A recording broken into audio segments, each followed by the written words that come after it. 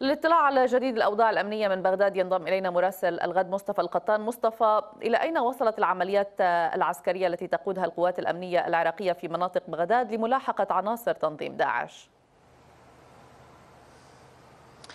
يعني هذه العمليات لم تتوقف منذ الهجوم الانتحار الذي ضرب بغداد في ساحة الطيران تحديدا قبل عدة أسابيع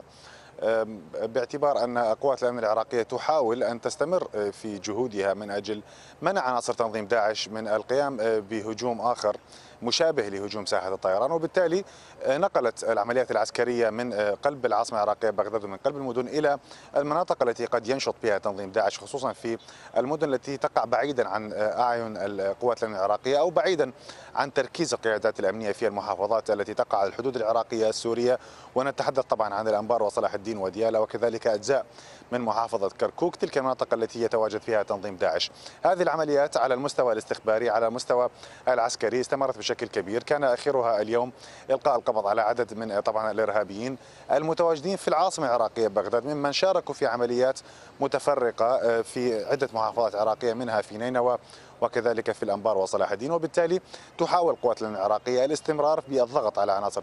تنظيم داعش بالتزامن مع الانتشار الأمني الكثيف في العاصمة العراقية بغداد وكذلك في المدن العراقية الأخرى وفي مناطق نعم. المراكز الحيوية من أجل إرسال رسائل اطمئنان للشارع العراقي بأن الملف الأمني مسيطر عليه بشكل كامل وأن ما حدث هو هجوم منفرد ولن يتكرر بأي شكل من الأشكال طيب هذا على الصعيد الأمني على الصعيد السياسي ما هي حصيلة اجتماعات الكاظمي مع أعضاء اللجنة المالية البرلمانية لمناقشة الموازنة الاتحادية مصطفى؟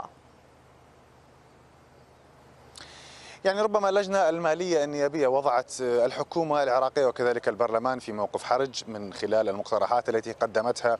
إلى طبعا البرلمان والتي تضمنت العديد من الإصلاحات والتعديلات على موازنة عام 2021 ومنها إلغاء الاستقطاعات من رواتب الموظفين تخفيض التخصيصات المالية للرئاسات الثلاث بنسبة كبيرة جدا وكذلك تخفيض العجز المالي. وبالتالي هذا الأمر دفع برئاسة البرلمان وبرئيس البرلمان محمد الحلبوسي يوم أمس للاجتماع باللجنة المالية النيابية. واليوم رئيس الوزراء مصطفى الكاظم الذي أيضا هو اجتمع باللجنة المالية من أجل من أجل تقريب وجهات النظر وكذلك محاولة تطبيق المقترحات التي قدمتها اللجنة المالية النيابية من أجل التصويت على مشروع قانون الموازنة داخل البرلمان كخطوة لاحقة طبعا لهذه الخطوة. النقاشات والمفاوضات لا تزال مستمرة بين الكتل السياسية بين السلطة التشريعية والسلطة التنفيذية مع اللجنة المالية من أجل وضع اللمسات الأخيرة من أجل قرار الموازنة لعام 2021 والتي تعد عاملا حاسما من أجل المضي قدما بالعملية السياسية برمتها وكذلك للخروج بالعراق من الوضع الاقتصادي الحرج الذي يمر به الآن بسبب انخفاض أسعار النفط وكذلك أيضا تبعات جائحة كورونا. شكرا جزيلا لك مصطفى القطان مراسل الغد من بغداد